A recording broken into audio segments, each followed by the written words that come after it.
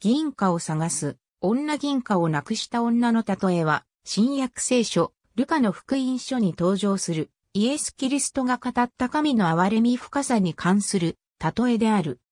ルカ福音書の第15章の見失った羊の例え、宝刀息子の例え話を含む三つの例えは、神の憐れみの三つの例えとも言われている。また、ある女が銀貨10枚を持っていて、もしその1枚をなくしたとすれば、彼女は明かりをつけて、家中を吐き、それを見つけるまでは、注意深く探さないであろうか。そして、見つけたなら、女友達や、近所の女たちを呼び集めて、私と一緒に喜んでください。なくした銀貨が見つかりましたからと言うであろう。よく聞きなさい。それと同じように、罪人が一人でも悔い改めるなら、神のご子たちの前で、喜びがあるであろ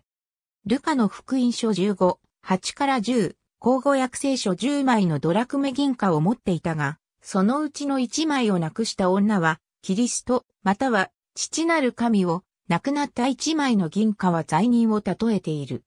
大切なものが見つからなくなった時、家の中を隅から隅まで探し回り見つけた時の嬉しさは誰もが経験することであろう。イエスは日常生活の出来事に例えることによって、前段の見失った羊の例えをわかりやすく別の例えで言い換えている。女は念入りに探した結果、亡くなった一枚の銀貨を見つける。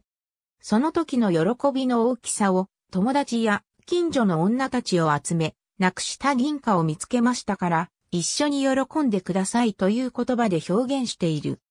天の国では見失った罪人の一人が神のもとに立ち返っていくことは私たちの想像以上に大きな喜びがあるのだとイエスは教えている。ありがとうございます。